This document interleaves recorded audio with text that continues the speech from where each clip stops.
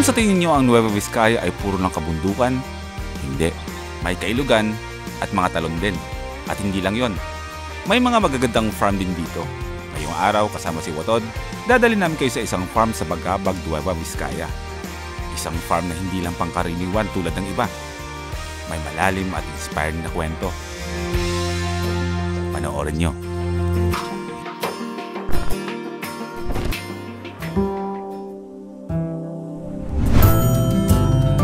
Welcome back to another Van Life episode. Back to Solano, Nueva Vizcaya. Eh, nasa lubog kita kanina dun, sir eh. Ikaw ba yun? Ako yun. Ano nagkusina? Minsan kasi, hindi ko Kasi na- sinundan dito, umiikot ako, sinundan kita. Hindi ko alam kung minsan kasi bumukusina kung kakalala ako. Motovlogger! Nagulit kami, nasa Solano na kami.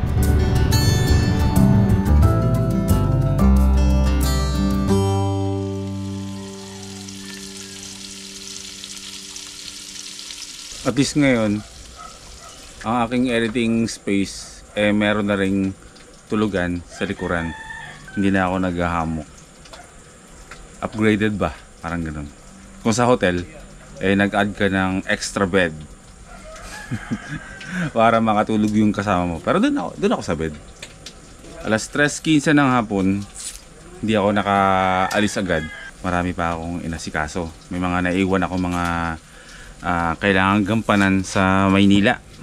Si Hana, nag-edit muna ako ng kanyang mga project sa school. Medyo nahirapan lang ako kasi mahirap ang internet natin para magbato-bato ng mga files na kailangan kong i-edit. Pero all goods naman na. Si Yomamen, eh nag ikot-ikot na. At ako dito, ay ah, tumutulong lang ako magluto ng ano bang tawag dito sa gulay na to na parang ah, pinaghalo-halong iba't ibang klaseng gulay partner nitong niluluto na tinapa.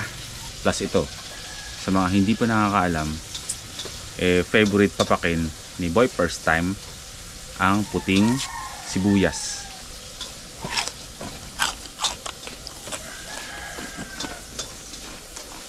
Sarap.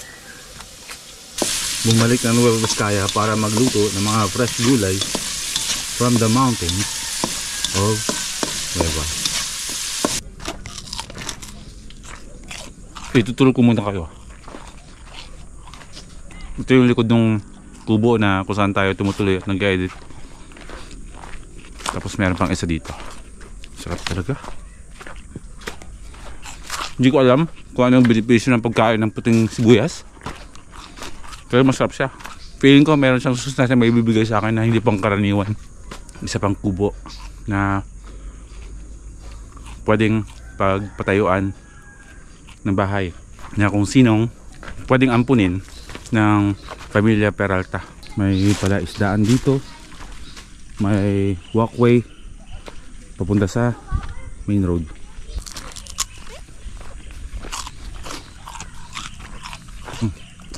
Kalsada. Hindi si Watod. Nag-iisipan ko. Nag-iisipan ko.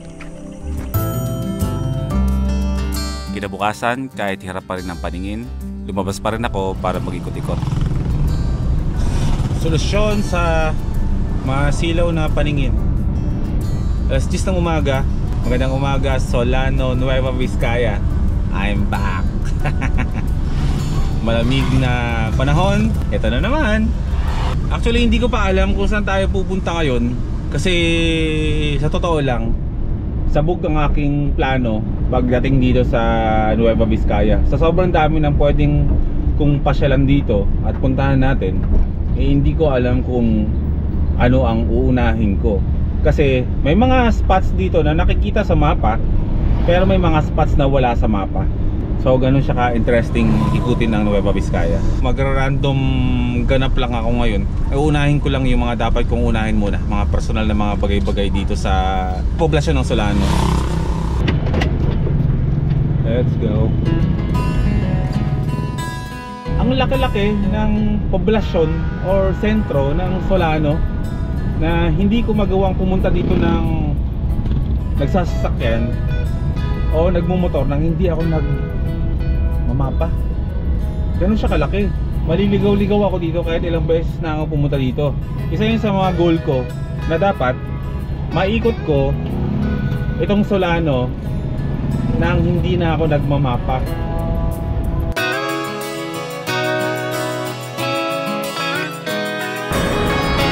Ultimo pati mga hotel nila dito sa Solano. Ang gaganda. Marunong naman ako mag-appreciate ng mga hotel na ganyan na pwedeng maging choice ng pwedeng tuluyan. Pero mas gusto ko pa rin sa Kubo ako nakatira. Pero paminsan-minsan sumusundot-sundot tayo sa mga biyahe natin. Lalo na kapag yung mga biyahe natin eh yung mga trabaho sa mga brands na dinadala ko. Yun, nakakapag-hotel tayo ng mga magagandang mga hotel. Pero kung papipiliin ako, magandang hotel versus isang kubo sa tuktok ng bundok na malamig ang panahon, pa din ako. Ako, ako lang yun ha. Baka iba dyan, kumparahin nyo naman ako sa sarili nyo. Wala tayong comparison. Ang kwento, ang, ang topic natin dito, ang pinag-uusapan natin, is yung kung ano lang yung kanya-kanya nating gusto. Dito sa ating mga first timers, bawal ang judgmental. Kasi si Boy first time hindi naman judgmental eh. So dapat buong pamilya tayo dito. Hindi tayo hindi tayo judgmental. Huwag natin ugaliing judgmental tayo sa iba. Kasi kapag tayo din naman yung ginudge, hindi nyo rin naman gusto. So, maging mabait na lang tayo. Hanap lang kape. Hindi ko alam kung meron bang mga pwedeng pasyalan dyan sa bundok na yan nakikita natin ngayon. Kaping-kape na ako pero gusto ko ng ano eh, nung kapeng native na nabibili sa mga maliliit na mga coffee shop. Mga kubo-kubo lang na type na, na ganun. Sa mapa, meron ako nakitang kapihan sa looban. Kasi dito sa mapa ay katabi siya ng ilog coffee shop na sa tabi ng napakalawak na kailugan. Tingnan natin baka maganda. Mga sir, pwede po ba makiraan? Ay, ito pa minamahaso. ayun, ayun, ayun, ayun. Makikiraan po. Ay, ito pa minamahaso. Sana sila? Makikiraan mo na ako. Tayo na lang mag-adjust. Tayo dayo eh. Ang aga-aga, subukan ng pasensya. Pero marami tayong baon yan. Oo, automatic diba? Boom! Gusto? Pag tayo ang dayo, tayo ang mag adjust Lagi nyo yung tatandaan na. Pinakompare ko lang sa, sa hayop pero in general, saan kaya yung coffee shop na yan? Sana yung mga tipong kubo-kubo lang. Nakita ko na yung coffee shop, pero diretso na tayo sa ilog. Nay! May ibang daan pa po, Nay, papunta dun sa ilog. Malalim po yung tubig na yan. Trust the locals. Ay, oo nga, mababaw nga. Mukha lang kasi siyang malalim kasi madilim. Sumasayad na yung bumper ni Watan. Baba kasi eh. Maisan. Napakalaking ilog na nakikita ko sa mapa ang ating matutunghayan. Wow. Suot pa more kahit saan.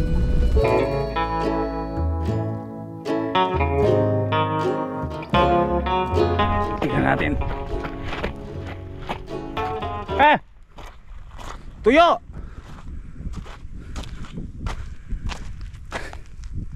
Asa yung tubig? Andun yung ilog. Kukunti lang ang tubig. Kaya merong dike dito is para to i-filter yung tubig na umaagos papunta dito sa barangay. Ah, okay. Parte pa rin to ng ilog. Itong lupain na to na malawak na tuyo, na katabi ng mga ilog na to. Pero ang ganda pa rin, di ba? Maganda siyang pagkampingan yung mga rock camping yung ginagawa ni Direk Gino. Direk Gino, napakadaming spot dito. Tuloy tayo. Meron ako nakitang isang lugar na pwede nating puntahan. Hindi ko alam kung anong meron sa humming farm na yon. Ang alam ko lang hummingbird. So siguro maraming mga birds doon na nag-hum, no? Hindi natin alam. Pero ito nga pala, nung isang araw, syempre tayo mga lalaki, eh madalas tayong umiihi kahit saan. Naniniwala ba kayo sa sa pamahiin or sa mga duwende, laman lupa, kanto, mga ganyan. Naniniwala kayo? Sinong naniniwala sa inyo sa ganun? Isa na ako doon. Comment kayo sa comment section kung nagpapaniwala kayo sa ganun. Isa sigurong paalala dahil nga syempre hindi naman natin kapisado yung lugar. Ako, alam ko talaga nag-exist ang mga ganong klaseng bagay. Kumbaga, ala, hindi ko alam, nakakanubutan ko yung ano eh, yung sabi nila, tama ba yung bari-bari? Parang sa atin eh, tabi-tabi po. Tama ba yun? Bari-bari ba yun? Tama ba ako or mali? Pakicorrect nga ako dyan sa lahat mga taga Nueva Vizcaya. Kung anong tawag sa inyo, sa language ninyo ng tabi-tabi po. Sabihin nyo sa akin kung, kung accurate ba itong sinasabi ko ha, kung totoo ba to o hindi. Kasi hindi ko naman kabisado pa itong lugar. Nag-adjust-adjust pa tayo. Ay, bawat lugar, meron kasi mga paniniwala at pamahiin. Walang masama na na irespeto kung hindi man tayo naniniwala, at least irespeto natin yung paniniwala ng mga lokal sa isang bayan o isang lugar o isang probinsya. Sinabihan ako. Ang sabi sa akin, kapag ikaw pupunta ka sa mga iba't ibang lugar dito sa Nueva Vizcaya, paalala lang sa akin ng talagang tubo dito sa Nueva Vizcaya, sa Solano na every time na na iihi ka kahit sa ang sulok, mag pasintabi ka or magtabi-tabi po ka. Sana hindi ako mapasama sa sasabihin ko. Hindi ko rin kasi alam na siguro talagang dito sa Nueva Vizcaya is more on mayroon talaga silang paniniwala pagdating sa mga sa mga engkanto, sa mga duwende na siguro sinabi nila sa akin yun para hindi ako ma manuno. Naniniwala ako sa ganun. Kaya ako nagsasalita na medyo pabor sa paniniwalang nag-exist talaga sila. Basta every time na gagalaw ko ng kalikasan, may, may babaliin kang puno o sanga na gagamitin mo. Or kunwari nagka-camping ka, magbubuhos ka ng tubig somewhere. Kunwari mainit, itatapon mo sa sulok, mag magtabi-tabi po ka. Huwag kang basta-basta magtatapon para hindi ko daw magalaw yung mga siguro mga 20 or hindi ko alam. Pero sa akin okay lang sa akin yung ganun. Susundin ko yun.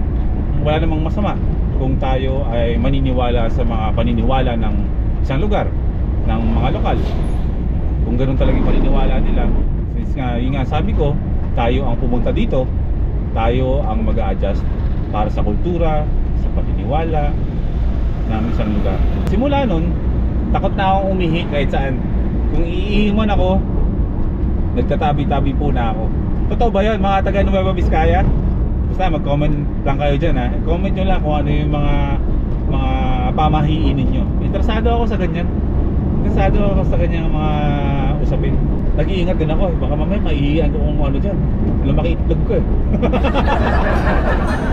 Kumbaga hindi lang sa sa Nueva Vizcaya ba kahit saang lugar man tayo papunta kahit saang probinsya man tayo sa Pilipinas papunta lagi yung tatandaan na every time na pupunta kayo sa inyong lugar at dayo ka magbibigay tayo automatic ng galang sa lugar sa mga tao sa paniniwala nila kung ano mang klaseng relihiyon yan. Tayo lagi ang mag adjust hindi sila ang mag adjust para sa atin. Para kasi sa akin napakalagi, napakahalaga ng respeto eh. Pagdating sa usapang respetuhan napakalaking bagay doon. Doon tayo mag doon tayo magka-clash kapag ang isa sa atin ay walang respeto sa isa't isa. Yun ang pinakaayoko sa lahat. Alam niyo bakit? kapag may respeto may pagmamahal kapag walang pagmamahal wala kang respeto. Yeah. medyo mapapalaban tayo sa ahunan. Pero huwag kayong mag-alala. Kasi na nakuha ko na yung pinaka sweet spot ni ni Watod. Wala lamig! Ja- jacket ko. Ayan ah, nakuha ko na yung pinaka sweet spot ni Watod pagdating sa akyatin.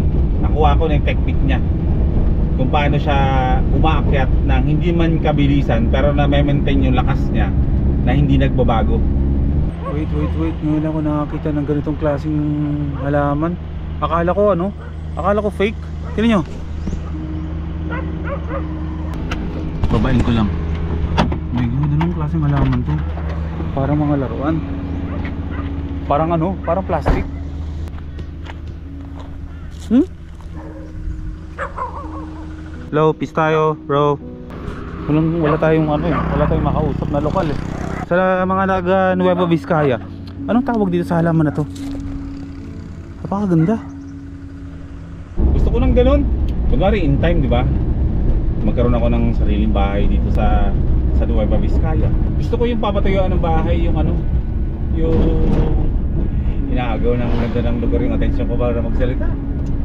Ano, ah, mag-green, mapupuno, malawak na lupain or sabihin natin kahit hindi naman sobrang lawak yung bahay parang bungalow type lang na pwedeng kalahati simento kalahati gawa sa kawayan or pratan tapos gusto ko yung bubong hindi yero. Talagang pawid ganyan. Buhay probinsya talaga. Pero dapat merong ano malakas na internet mga 1000 Mbps yung tipong ina-edit ko pa lang na-upload sa YouTube ganun kabilis At pagkatapos ng mahigit 20 kilometers na biyahe, ay narating na natin ang Humming Farm. The Humming Farm. Ayan, coffee bar, restaurant, and mini store.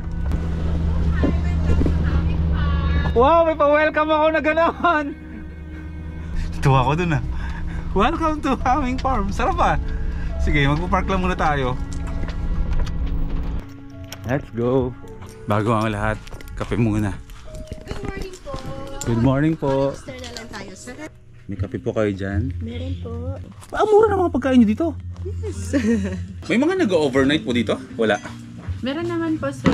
Mga car camping, ganon? Ay, pag car camping wala pa po. Wala pa. May mga tent-tent lang ang meron. Kakarating ko lang at nakaagaw pansin agad sa akin ang kubo na to. Yan po yung mga kubo ng Pugaw. sa Ifugao. Kumbaga traditional or yung Oo, traditional house. Oo, mga kanununuan hanggang ngayon eh makikita nyo pa rin sa Ifugao. Ganyang klaseng kubo. Pero pwede po siyang silipin lang. Yes, sir.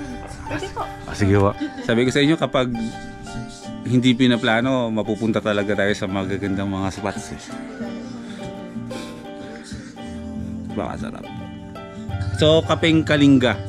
Kapeng kalinga. Goods tayo sa ganyan. Kapeng kalinga, kapeng buskalan, yan yung mga brewed coffee or tinatawag na native coffee na hindi matataas ang acid. So, lahat ng matataas yung acidity na namimiss na yung uminom ng brewed coffee, yan yung mga kape na bilhin nyo. Yeah. Hindi ko alam kung kakamuhin ko ba. Peace bomb taon tayong dalawa. Okay, welcome to Humming Farm. Ambalyo North, Baratbet, Bagabag, Nueva Vizcaya. Napunta tayo ng Bagabag. May sisilipin ko yan. Okay. Kanina, tinanong ko sila kung ano bang kakong ibig sabihin po ako ng Humming Farm. Bakit tinawag nyo na Humming Farm to? Hindi nila sinabi sa akin kasi masuspoil nila yung kwento nung, nung lugar na ito. Bye-bye, Watod. Diyan ka muna. At magliliwaliw-liwaliw muna ako dito. Wait. Alam ko itong mga ibon na to ah. Hindi ko lang alam kung anong tawag sa ibon na to dito. Pero sa amin sa Aklan, ang tawag sa ibon na yan, kurokoko. Kasi ganyan yung tunog niya. Parang tunog kurokoko. Parang ganyan. Hindi naman ganun kalaki yung lugar. Maliit lang. Pero very interesting. Kasi nga, pwede ka magstay dito overnight dahil meron mga kubo dito na for rent. Yung traditional kubo nila, for rent din yun. Pwede rin daw mag-camping dito sa sa sa farm. Pero sa lawak ng lupain, may mga spaces talaga para sa mga magka-car camping pero antayin natin. Malay natin, 'di ba? Darating yung araw na mag-open na rin sila para sa mga ah, mga nagka-car camping o yung mga nagva-van life. Punhaangan.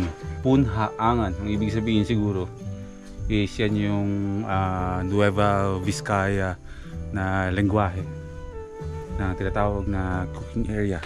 Turuan nyo ako mag ano, magsalita ng ano, Nueva Vizcaya kasi ah, isa lang ang alam ko dito eh. Isang word lang eh, garod. Garod garod tapos wala nang iba. Tapos pwede na akong ibenta. Okay, dito naman tayo sa Hamming Strawberry Farm. Hindi ko alam kung bawat strawberries ay may kanya-kanyang klase or variants. Japanese shoga dito at dito yung tinatawag na festival. Pero feeling ko na yung mga nakalagay dyan sa bawat cages dito ng strawberries eh yan yung mga klase ng variants ng, ng strawberry. Australian. So ang tawag dito is Australian strawberries. Pakicorrect na lang ako kung mali. Mabilis akong tumanggap ng mali. At pagkakamali.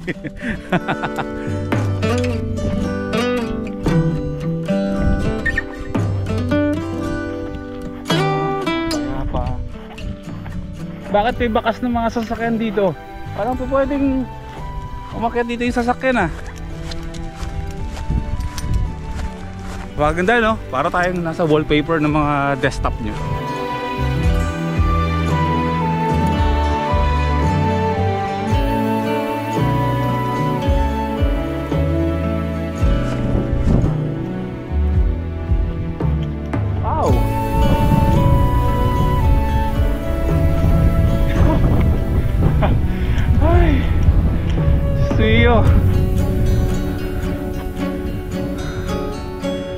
Napakaganda.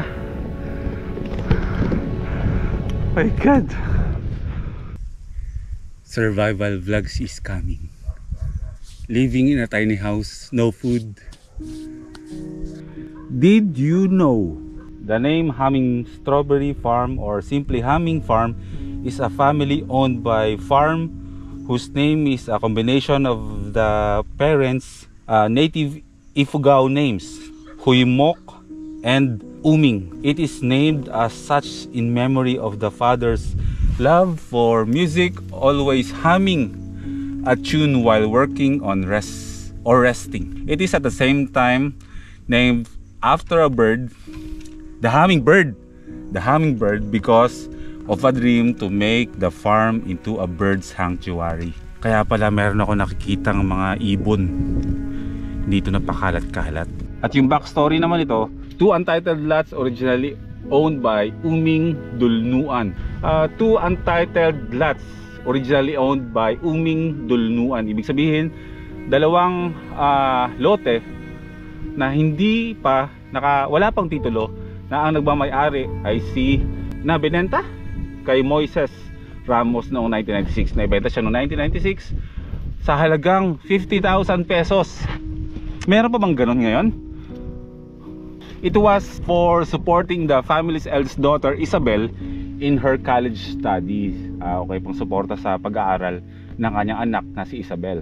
She got a DOST scholarship but finances were needed to set her up.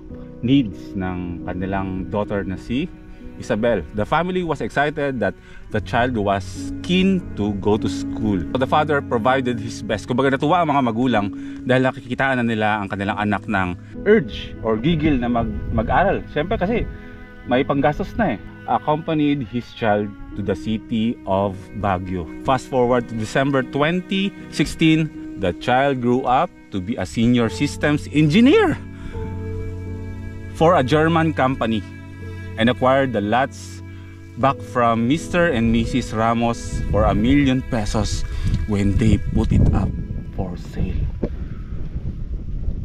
Binili nila ulit.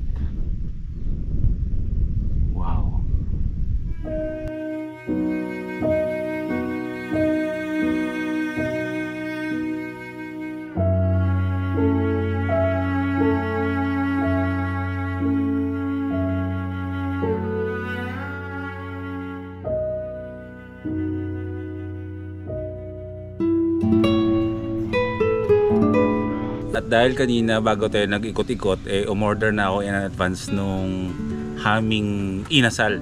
Kung tawagin, inihaw na, na manok. Nakita ko tong napakagandang lababo na overlooking mo yung napakagandang sceneries dito na mag-green. Tatanungin ko special nitong lababong to. To. merong merong merong pagong ginagawa mo dito. Ano ba na pinala, lumaki ako na pinapaniwala ako ng mga tao sa amin sa probinsya na kapag gumawa ka daw ng pagong eh ma- mabobobo ka daw. Si daw. na, narinig mo na rin yung ganon Diba? lumaki akong ganon isa lang yung order ko ba't ang dami. Eh. asa? Saan sa akin dito? Ito ito ito. Pakailamera si boy first dito ka na bida-bida yung boy first Lang ano.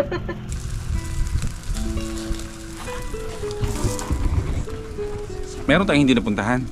Sabi nila ate dito, meron daw mga tupa dito, tupa. Tupa po, no? Kanina ka pa kasi kami nagkakaroon ng discussion kung ano yung pinagkaiba ng tupa Carnel. sa karnero At sa ship. at sa sheep.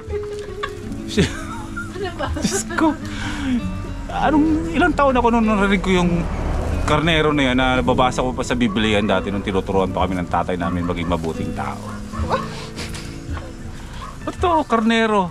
Sa mga nakakaalam, ano bang ibig sabihin, anong pinagkaiba ng karnero sa tupa? Kung kung yun ba yung sheep o yung lamb, no? Anong pinagkaiba ng lamb tsaka sheep? Pa-commenter. ano ba? Nag-overthink ako malala doon ah. Yan! So ito yung tinatawag na haming inasal. Malamang bestseller to. O sige po. May iwan po ako dito mag-isa? Okay lang sa'yo. Ako na lang po mag-welcome sa kanilang lahat dito. Welcome to Humming Farm! Eat all you can! Sino may iwan dito? Meron sir. Ah, meron dyan? Ay, meron pa akong tanong. Manager! Manager, tulungan mo ako dito. Nahihiwagaan ako dito sa kanin nyo. Dilaw na kanin eh. Bakit ganito bro yung ano, yung kanin nyo parang bluish? Secret. Sama ka sa vlog ko. May sikreto kami. Ah, sikreto na yan. Oo. Pero pwede naming sabihin sa'yo ngayon. O sige, ibulong mo na lang sa akin bro. Hindi nila malalaman. Oo. Yung puto. Ha? Ano? Ah! O sige, sasabihin ko na galing yung kulay niya sa isang bulaklak. Hulaan nyo na lang. Ay, nakatikim ako niyan. Gina- ginagawang juice nga yun eh. Oh. Habang iniihaw ni ate ang chicken na paglapag niya doon hanggang sa maluto, hindi lumiit. For sure, ma-enjoy ko to at kakamain ko to. Para at least eh, may idea kayo kung masarap ba talaga. Sarap na si ate.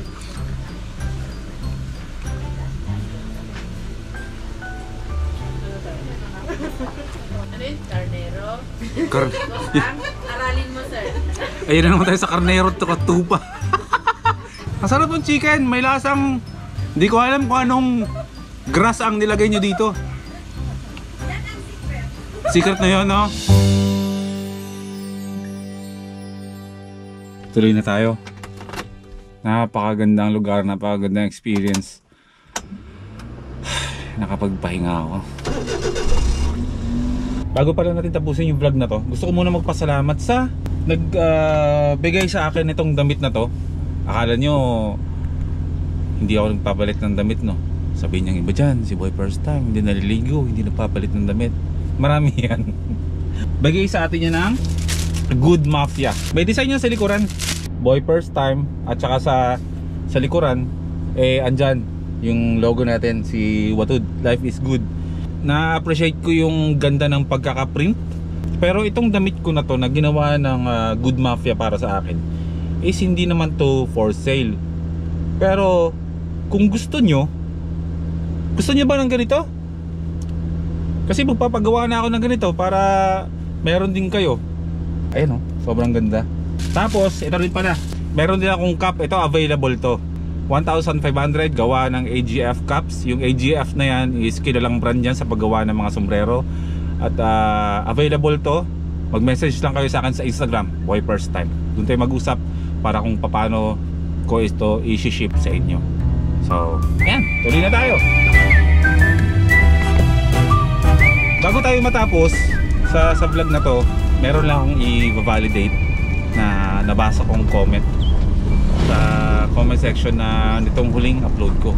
Ito, napakahalaga to. Kailangan kong sagutin to.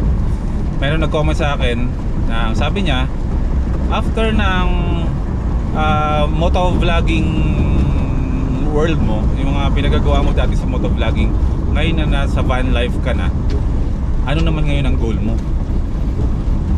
Nung nabasa ko yon, hindi na ako nahirapan mag-isip kung ano ang isasagot ko. Dagdag pa dun sa tanong niya, kung masaya pa ba ako? Isang katanungan na napakasarap sagutin. Unang-una, sa motovlogging industry, nag-enjoy na ako. Nagawa ko na lahat ng gusto kong gawin sa pagbumotor. nakapag-ikot na tayo ng tatlong beses sa Pilipinas maliban dun sa sa tatlong beses ko naikot yung Pilipinas eh may mga iba pang sanga-sanga na mga adventures tayong ginawa sa motor kaya ako nasa van life ngayon is dahil gusto ko nang magpahinga. Si boy first time malikot kasi ang utak ko. Hindi ko alam kung bakit ganito dahil siguro sa dati kong trabaho na nagpo-produce ng mga shows editor ako dati ng ABS-CBN sa mga hindi pa nakakaalam. Yung utak ko sa loob ng 11 years na nagtatrabaho ako doon bilang editor na feed ako ng iba't ibang ideas ng mga tao nasa paligid ko. Ibig sabihin lahat ng mga tao nasa paligid ko. Editor, segment producer director executive producer, researcher, production assistant. Lahat ng mga ideas nila lahat ng mga klase ng galaw nila kumbaga yung designation nila bilang kung ano yung trabaho nila sila ay nakakasalamuha ko sa araw-araw. Ngayon hindi ko alam kung bakit lahat-lahat ng ng alam nila is na na-absorb ko. Na ngayon eh, yun ang ina-apply ko sa sa vlogging ko. Kaya ganito ako mag-vlog. Kumbaga parang hinubog si Boy first time ng ABS-CBN sa paggawa ng mga videos. Ay ang mga tao sa industriya ng TV hindi yan mapakali. Yung creation and creativity ng mga tao sa TV grabe. Yun yung nadala ko. Kaya ganito si Boy first time na kung ano-ano yung ginagawa. Kasi hindi ako andun na sa akin yung hindi ako nakokontento sa iisang kwento sa iisang pangyayari. Gusto ko lahat nagagawa ko tulad ng tinatrabaho ko sa ABS-CBN editor din ako dati ng mga travel shows. Kaya ngayon na i-apply ko siya sa aking buhay bilang isang boy first time sa YouTube. Ngayon balik tayo dun sa question na ano ba ang goal ko sa pag van life naman? Napakasimple lang. Ang goal ko lang is kumalma na lang ako. Pakalmahin kayo at para para makapagpahinga kayo kung hanggat maaari mailalayo kayo sa mga nakaka-stress na nangyayari sa mundo at kung anong nakikita natin mga videos na hindi maganda sa internet world pipilitin ko, gagawin ko ang lahat naming mga magkakaibigan. Kung hanggat maaari maisisave namin kayo sa katakusikan ng mundo na hindi nyo maramdaman yung stress tulad ng ginagawa namin gagawin namin. Yun ang goal ko. Pero kung sa as personal naman na sagot ko dyan not in general or ito na yung mundo ko ngayon na kung saan ay nakakapagpahinga na ako pagkatapos ng ilang taon na nagmumotor ako na nagmumotor umabot na ako sa sa sukdulan Tsaka hindi lang naman tayo motovlogger. Kahit anong klaseng content, pwede natin gawin. Nabasa niyo na? na- na- Nasa channel ba natin na Boy First Time Motovlogs? Hindi naman, di ba? Ibig sabihin, Boy First Time, napakalawak nun. Na kahit ano, pwedeng i-vlog, i-content ni, ni Boy First Time. And then, yung last na question, kung masaya pa ba daw ako?